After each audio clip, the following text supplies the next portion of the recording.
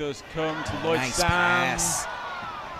The keeper does collect it. It's just that heavy touch there. I think it was a heavy second touch.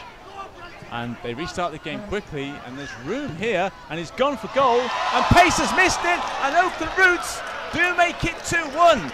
Spectacular strike. Pace has completely lost it.